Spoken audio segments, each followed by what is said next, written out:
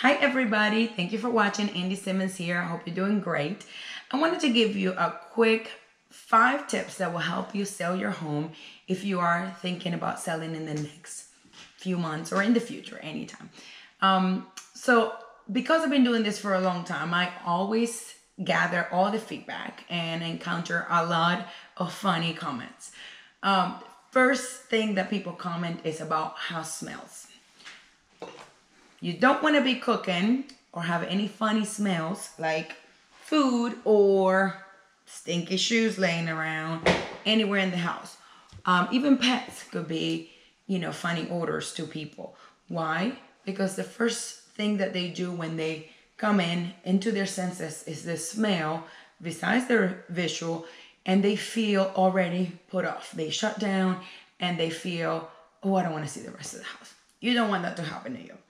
Number two, I'm gonna replace all the uh, light bulbs. Everybody wants a lit up house. Why? Because it gives them the illusion of having lots of lights. Even if you don't have a lot of natural lights, when they turn on the lights and everything is nice and bright, it's a good feeling. If you have missing light bulbs, that's just gonna make it look like it's a little round down and a little dark. Number three, make sure you paint, brush up, fix whatever is broken, pressure wash what is needed. Um, again, is that impression that you're taking care of your house and that they don't have to do too much when they move in.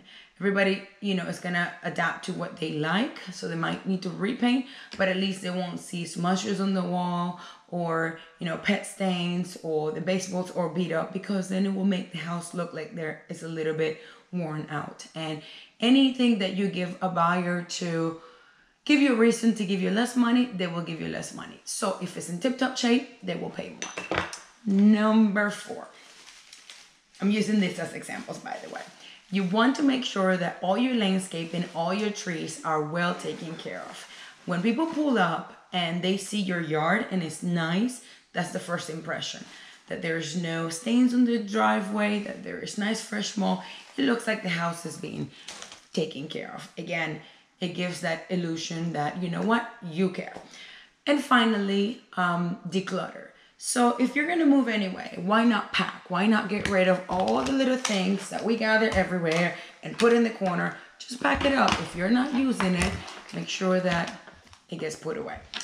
So I hope this was helpful. Um, if you have any questions, my number is 813-323-6241. See you later. Bye.